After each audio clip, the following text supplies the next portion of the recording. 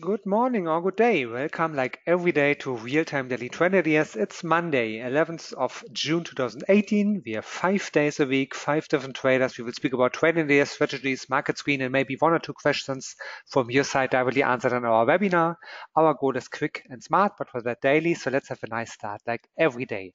And like every day, we will start with our risk disclaimer. Forex and CFDs are leveraged products and can result in losses that exceed your deposits. If you're a starter, please start with a demo account and make yourself familiar with long trading, short trading, leverage trading, and your personal risk management. If you'd like to read the full disclaimer, just visit one of our web pages, for example, admiralmarkets.com, and you will find everything written down there.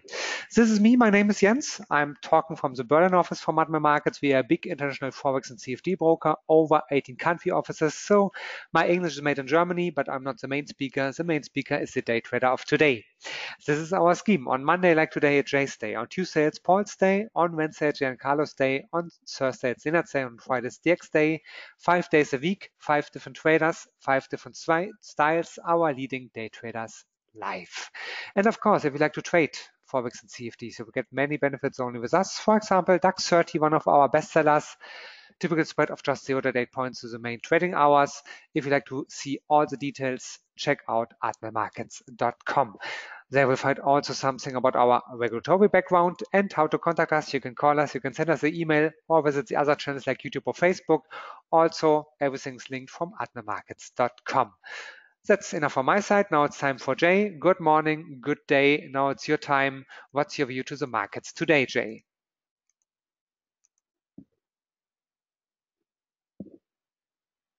Hey, good morning, uh, Jens. Good morning, traders. Let me show you a screen and let's get rocking and rolling. It's central bank week. That's what we can call it. Headlines currently risk on, surprisingly enough. Why surprisingly am I saying that? Because the G7 quarreled like there's no tomorrow.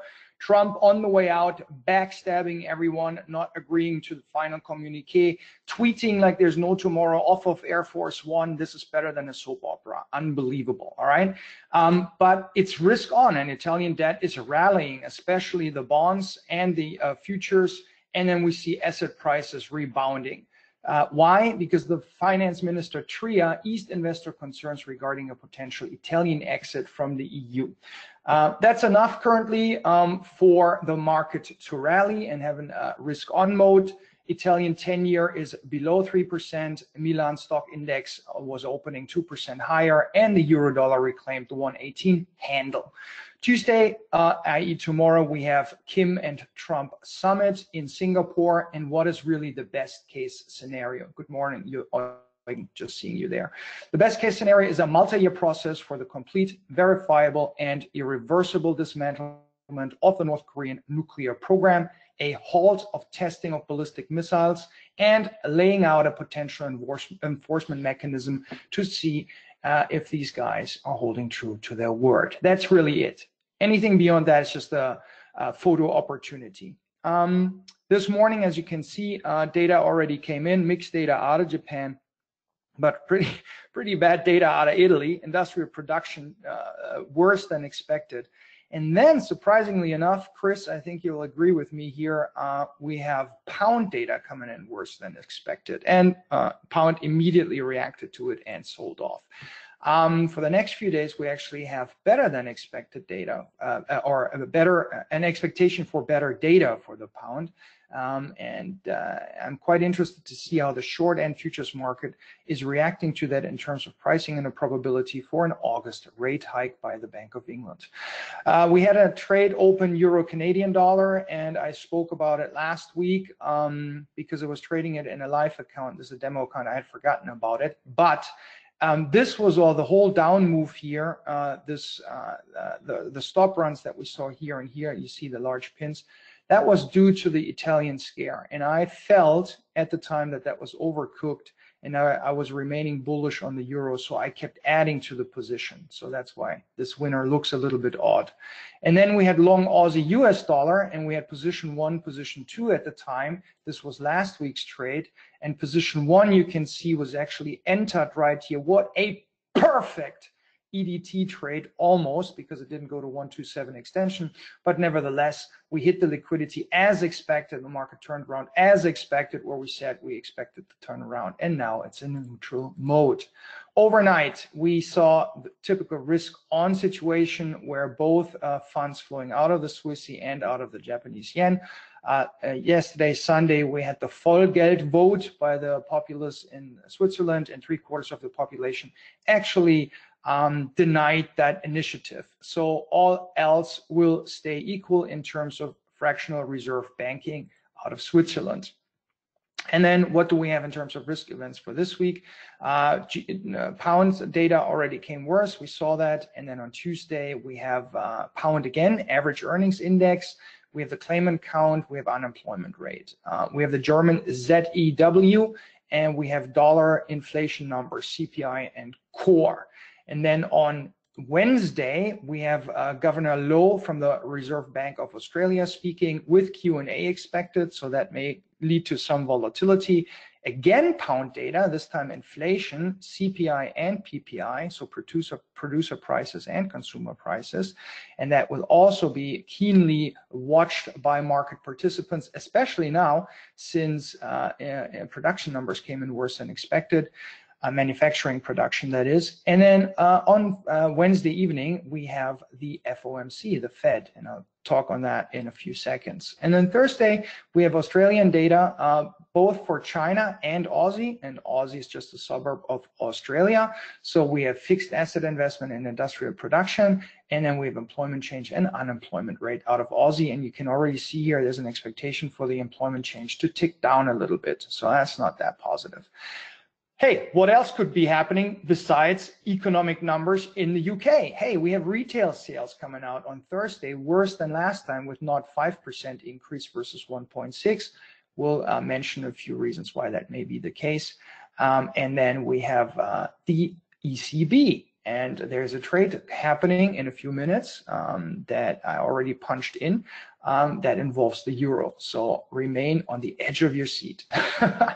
and then on Friday, we have uh, the third and final central bank decision for this week, and it's going to come out of Japan with the Bank of Japan policy rate decision and monetary policy statement, which is also quite interesting for us. And then in the afternoon, we have a few numbers out of the US.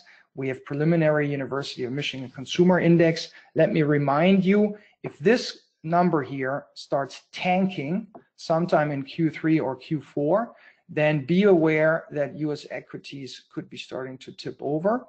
Could be, because overall I expect a very volatile year for US equities, but I still expect them to finish the year green. That's my current expectation, okay? um, all right, hang on a second. Computer is slow. Here we go. US dollar, now it gets interesting federal funds on uh, FOMC on uh, Wednesday. The expectation currently is FFR, that's the federal fund futures, pricing in a 91.3% probability that they're going to hike the rates by 25 basis points to the corridor 175.2. So that naturally means currently we're at 1.5% to 1.75. That's the corridor. And the focus naturally will be on the so-called dot plots. This basically, you can actually see it online in Bloomberg, but it's published all over the place. You can actually see um, what the individual Fed members expect in terms of rate rises, uh, how many for each year for the forecast period. And the question is, will we see one or two more hikes in 2018 and what lays in store beyond? So let me remind you, last time the dot plot showed uh, three hikes in 2018, three hikes in 2019, and two hikes in 2020.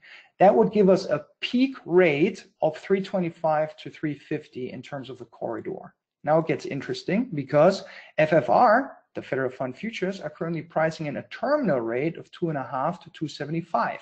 Naturally, quite a bit below three and a half to three, uh, three and a quarter to three and a half.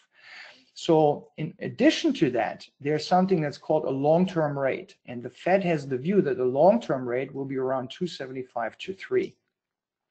In theory, the long-term rate shall equal the reinvestment rate. Uh, uh, sorry, the long-term rate shall equal the GDP growth of an economy. All right. So the Fed's view is that the US economy in the long term would grow by around 275 to 3%. Now that's all theory. We all know how uh, well theory works out in reality. It doesn't. So the focus will be on the Fed raising, uh, uh, and there's an additional focus. Sorry, I'm already jumping ahead to the next topic. There's an additional focus where the Fed alluded to in their last meeting minutes report that they're thinking about raising the interest rate on excess reserves. So we have a fractional reserve banking system. That means $100 in sight deposits will get leveraged up to 100 times and lent out by banks uh, in terms of new money created, in terms of new credit. And new credit actually means GDP growth, at least in our Western industrialized nations. All right, we have GDP growth when credit is growing. When you and some companies stop uh, borrowing money, uh, money, the GDP growth falls off a cliff, and then the government steps in and starts borrowing for us. You know, and so the, the it's interesting that they're potentially raising the interest rates on these excess reserves. So the hundred dollar sight deposit that's getting leveraged 100% means out of the hundred dollar sight deposit, a bank needs to deposit as an excess reserve, basically um, as collateral for the new loans that they are pumping out one dollar in reserves with the Federal Reserve banking system. And this dollar may be um, uh, uh, getting fetching more interest rates, uh, more yield going forward. So the market is actually focusing on that. Sorry for that longer explanation. For he or she who understands it, it's super, super important. Also very important is language changes. Last time um, they spoke about accommodative policy. How are they going to tweak that language? If they are, the dollar will react to that. And then we have the conference and we expect questions on the neutral rate. So this goes back to what we talked above here, uh, talked, uh, talked about above here. Um, and if the Fed will allow an overshoot of this neutral rate, and if so, how long and how high of an overshoot. Quite, quite interesting. So I'm expecting some uh, volatility out of the meeting and uh, that for anyone who's scalping, Frank, I don't know if you're listening to this, um, that's going to be a good day for you, buddy. On the ECB front, um, the expectation is obviously that they're not touching rates this time, but the whole euro rally currently is based on the fact that we had four members of the ECB hit the mic and talk about uh, talk hawkishly. Okay, so all that's going on this week is an expectation that the gremium is starting to talking about when will we stop the QE program. And currently it's supposed to run out September of this year. The market is pricing in that it's going to run out end of December of this year. So the market is fully prepared to accept that the ECB will extend this program for another quarter. But then they're going to start hitting the brakes. But listen carefully, please, if you understand this already, hopefully you do any on all debt that they bought that comes due and any on all interest payments means that the ECB will receive cash flow from the individual sovereigns and corporations where they bought the bonds from. That money is currently expected to be fully reinvested. So it's not really that they're full, that they're, it's not a heartbreak. It's not like your ABS is hitting, right? Um, it's uh, tapering in a sense in a smooth way. They're not lo looking to, on a monthly basis, purchase 30 billion more. They're simply saying we're not purchasing 30 billion more, um, but we will reinvest any proceeds and coupon payments. So it's soft, but the market pricing today and acting on bets six to 18 months in the future will react to anything that comes out of the ECB on, on this meeting. Um, so the four people that I alluded to were Weidmann, Hansson, Knot, and especially head of econ Praet. And they all spoke hawkish and in favor of ending the QE program. Also, we will see updated economic projections. And because we had a weaker euro, and because we had higher oil prices since last meeting, since the last meeting, um, we expect that their projections on GDP growth for the Eurozone and the Euro area will be moderated a little bit downwards, okay? So that's already baked into the cake, so to speak. What's happening on the other side? Hello, Mr. Computer. Wow. All right. Coffee break? Dude, what's going on? Das is just unacceptable. All right, here we go. Piece of shit. Pound. Sorry. Sorry for my French. Dude. All right, 12 hour Brexit debate starting on Tuesday in the Commons. And then this Brexit bill that failed miserably in the House of Lords. If it passes in the Commons, it by Friday will go back to the House of Lords. Okay, what is this whole spiel about? I fully understand any retail trader going nuts over this because it's highly complicated by now.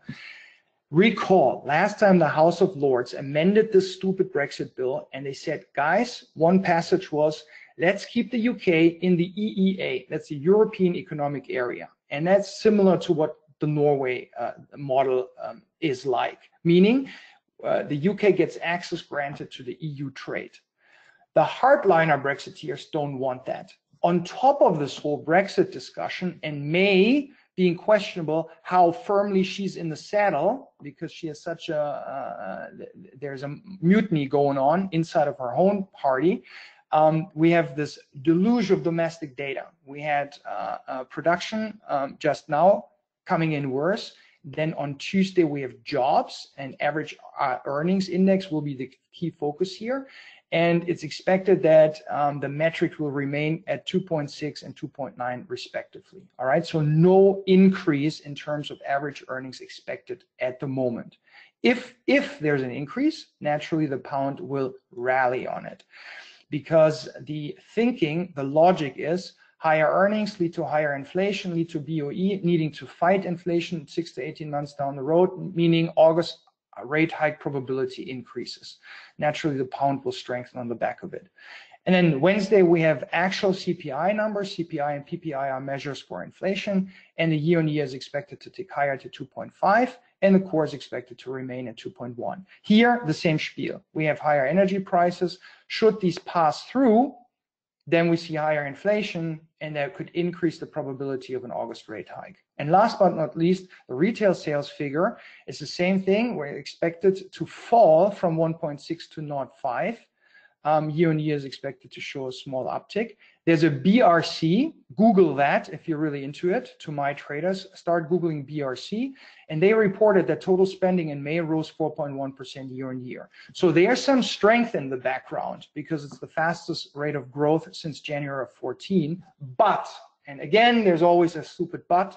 The but is that petrol prices, the gas price at the pump increased, and that may have held back the retail client, uh, the retail client, the consumer in terms of retail sales. All right.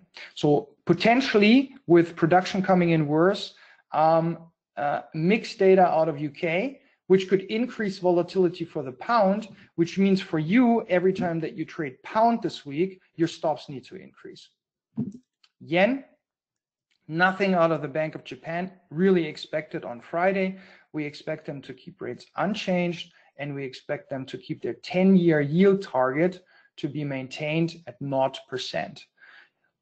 Some of you may not know this. Uh, the Bank of Japan is the only central bank known currently that also um, fixes the 10-year yields. Usually, Western central banks fix the short end in the terms of uh, yield curve, and they set the rate for short-term yields. Japan also sets the rate for 10-year. So if you borrow in Japan 10-year money, you pay nothing. It's for free. And funny enough, inflation is not increasing there. Here's something that you may keep on the back of your mind, in the back of your mind. Henrik, this is especially for you. The next sales tax hike is slated for October 19.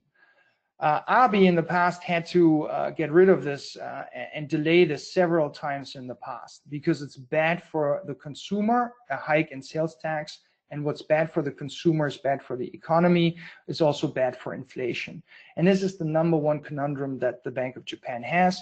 They currently own 78% of all sovereign debt, of their own debt. They buy their own government bonds, and they hold 85% of ETFs, exchange traded funds. Yet, there's no inflation.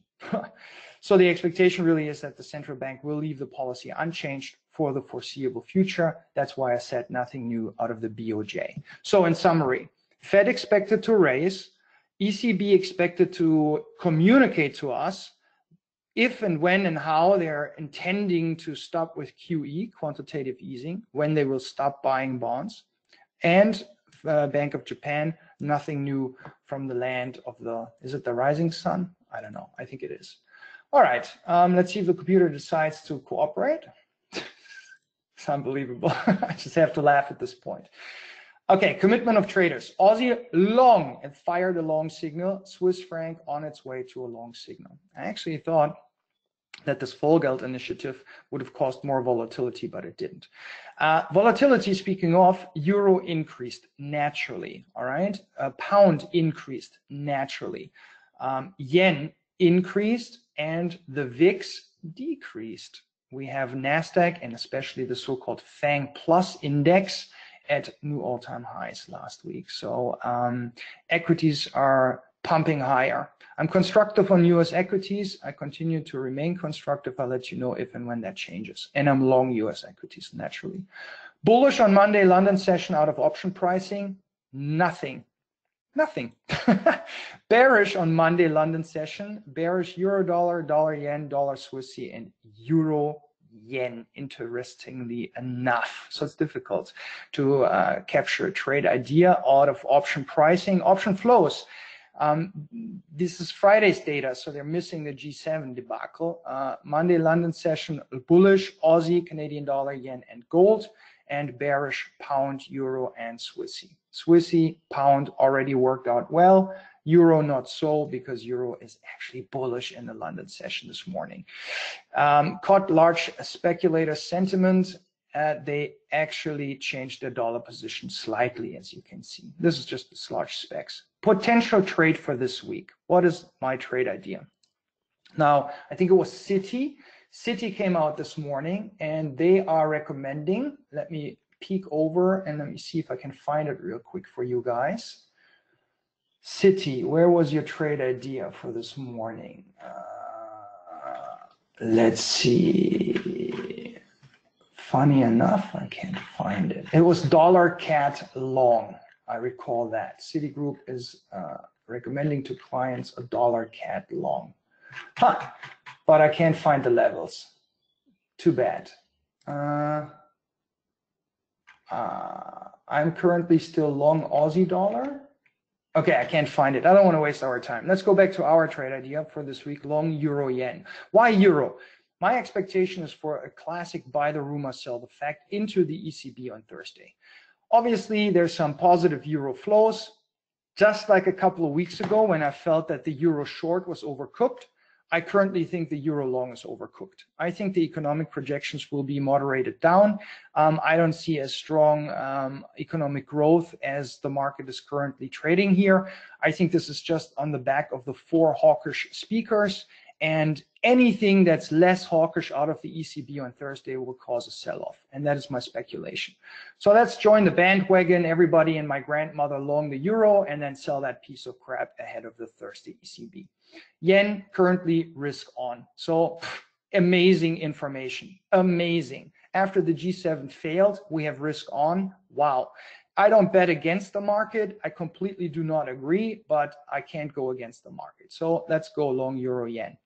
Trade structure, two limit buy orders, stop loss 147 pips off of average price. Risk for the trade, naturally, any risk of sentiment like for example, tomorrow's Kim Trump summit ending in an ugly photo and no news um, that would cause potentially a risk off and then the yen sees inflows and or we have very negative economic numbers for the euro this week. But honestly, guys, not really any tier one uh, data in the docket. So I think we have uh, free flight ahead long euro into the ECB. You can see the trade right here, um, already plugged in. So uh, take profit for both is right up here above liquidity. And then uh, I need the square up here of this candle and I need uh, to hit the role reversal for my long one. And then my long two will naturally be at the second line of defense, I call it. Uh, it's another volume area right here where we had two-way two price action, uh, very solid natural level to long the second one. If I fail, I have two swings below, I have my stop like everyone else in the whole world, then so be it. 1% will be gone down the drain. But overall, we're doing really well in this uh, uh, Admiral Markets account. And uh, I wish you all a very positive and good, solid week. Trade a little bit careful, guys. Um, pound, there's a lot of headline news coming uh, in terms of Brexit. Theresa May really not that firmly in the saddle. Uh, Euro, don't believe the hype. Don't believe the hype.